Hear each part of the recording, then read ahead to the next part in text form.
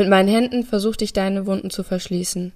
Voller Verzweiflung drückte ich meinen Körper ganz dicht an deinen und tränkte dein T-Shirt mit meinem Schmerz. All dein Blut klebte an meinen Händen, mit denen ich mir hektisch die Haare aus dem Gesicht wischte. Überall war sie, diese rote Flüssigkeit, die zu gewinnen drohte. Deine schönen Lippen, die mich in jeder anderen Gelegenheit zum Küssen verlocken würden, hatten ihr wundervolles Rosa verloren. Deine Hände waren eisig, dein Blick starr. Mit zitternden Händen wählte ich die Nummer des Rettungsdienstes und war erleichtert, als ich eine Stimme am anderen Ende höre. Vorsichtig strich ich dir durch dein Haar, weil ich weiß, wie gerne du dies hast. Oft bist du so in meinen Arm eingeschlafen.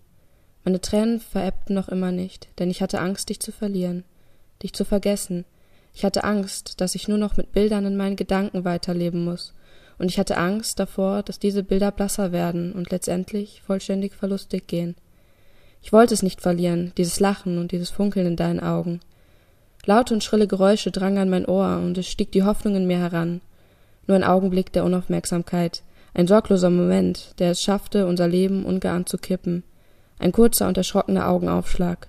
Nur ein Atemzug, offenbar dein letzter. Sie war einfach überall, diese rote Flüssigkeit, die zu gewinnen drohte und siegte.